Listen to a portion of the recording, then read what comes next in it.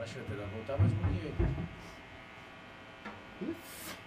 não dá. Não tá acostumado também com o bom assim. Sim, né?